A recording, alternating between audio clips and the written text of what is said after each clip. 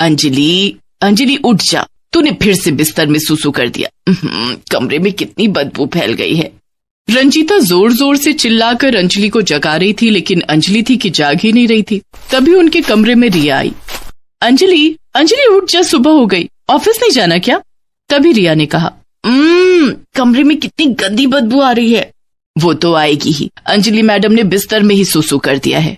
क्या? Oh my God रिया उसी वक्त कमरे से बाहर निकल गई। थोड़ी देर के बाद जब अंजलि सोकर उठी, नींद खुल गई, अब जा, जाके चादर और कपड़े धो। ओ नो, आज मैंने फिर बेड पर सुसु कर दिया। तू है ही आलसी, बिस्तर से उठना ना पड़े तो बेड पर ही सुसु कर देती है। तेरी सहेली रिया आई थी, उसे भी पता चल गया। ओह, मुझे कुछ करना पड़ेगा। तभी अंजलि की नज़र बेड के बगल में रखे सैनिटरी पैड पर पड़ी।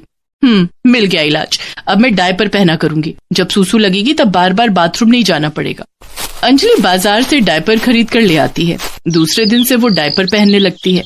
दरअसल, अंजलि बचपन से ही बहुत आलसी थी। बार बार बाथरूम न जाना पड़े और हाथ धोने के झंझट से बचने के लिए वो बिस्तर पर ही सूसू कर देती। धीरे धीरे उसकी ये आदत बढ़ती गई। अंजलि के माता पिता ने पढ़ने के लिए उसे शहर से बाहर भेज दिया, जहाँ अंजलि हॉस्टल में रहती थी। वहाँ भी अंजलि की यही आदत थी। बिस्तर में या कपड़े में ही सुसु कर देती थी।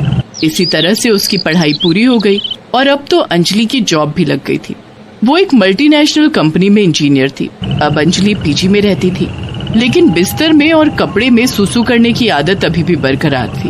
पूरे पीजी की लड़कियों को अंजलि की इस आदत के बारे में पता चल गया था।